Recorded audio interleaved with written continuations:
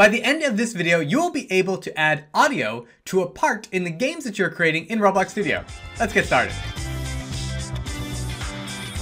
So you're gonna wanna have Roblox Studio open and I'm working on a game here. And what I would like to do is add a part to the game which will have a sound attached to it so that when a player approaches that part, they can hear the sound.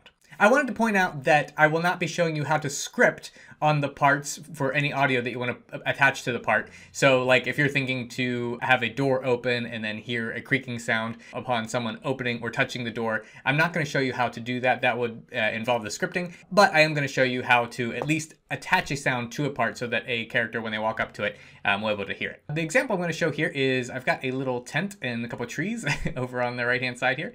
And I'm going basically I would like the player to hear some cricket sounds as they approach that area. So let's go ahead and add a part to the game. So I just went ahead and added a part. With this part, I'm going to go ahead and add, add a sound to it. So on the right hand side, you can see the Explorer tab. So I'm just gonna rename this part Sound Block. You can rename it whatever you'd like. And so this block is just going to be playing a sound as they get close to that area. So now I'm gonna go ahead and click the add icon and I'm gonna go ahead and type in sound. So now I added a sound to the block. There's nothing inside the sound yet. I actually have to find the sound to put in there. So in order to find a sound, you can do that two ways. You can go to the toolbox, and that'll be on the left-hand side here. And you can click on models and drop that down to audio. And so this is searching the Roblox database for different sounds that you can use. So you've got sound effects and you've got music. So either one of those will work for this. I'm just basically trying to find the sound ID to paste into that sound. And so now I've got different things that I could do. I'm gonna go ahead and search for, let's do cricket. And so these will be some cricket noises. And again, you can always preview the sound here. So you wanna make sure that whatever sound you use is free to use in your games and you're allowed to do that. So let's go with this cricket sound. And I'm gonna go ahead and right click. And once I right click in this area, I'm going to click on copy asset ID. So now I've got the ID for that sound and I'm gonna go ahead and go over to the sound block and click on sound and I'm going to scroll down to where it says sound ID and then I'm going to paste. So right click and then paste or control V and then press enter. So now I have the sound in the block there. So it will work and there are some settings here we'll go over here in a second. Uh, I'm going to show you when I play the game in a second you're going to hear the cricket sound right away. Okay, so you notice that the cricket sound did not play, and so that mean, means I, I missed something. So again, with that sound selected, I'm going to go down to the right-hand side, and you see there's a box here for playing. So I need to click that to make sure it plays. And then I'm gonna go to looped. Looped will make sure that this sound, which I think was like a minute long, will not stop after a minute. It'll keep playing and just keep repeating after or one after another. So now I'm gonna play the game and you're gonna be able to hear the cricket sound now.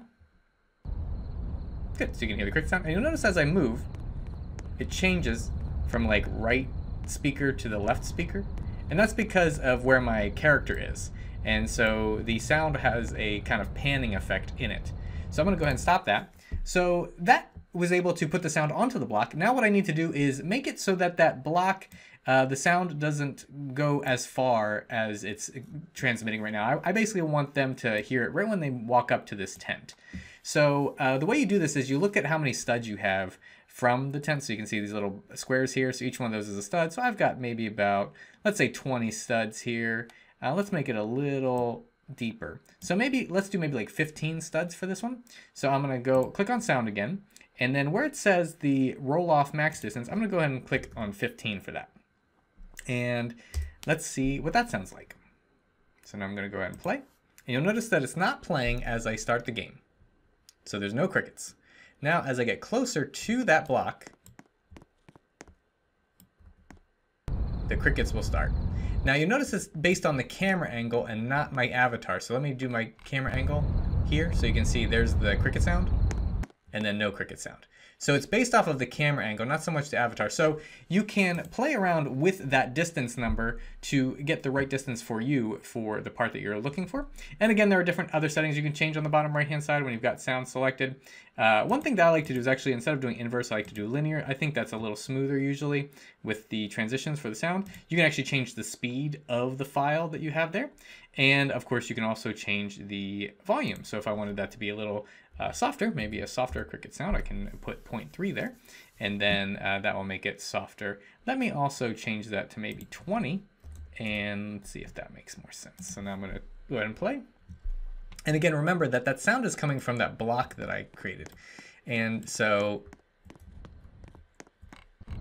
there we go. So it's off of the block, and that's how the, it figures out how far to, to cast the sound. And if you wanted to, you can just select that block and make it transparent. That way uh, people cannot see it, and because that block is basically just to create the sound that we want. And I'm gonna go ahead and I don't want them to collide with it either. So I'm gonna uh, turn can collide off. I'm also gonna anchor it so it's right there every time. And then I need to find transparency, which is near the top. And once I find transparency, I'm gonna just change that to a one.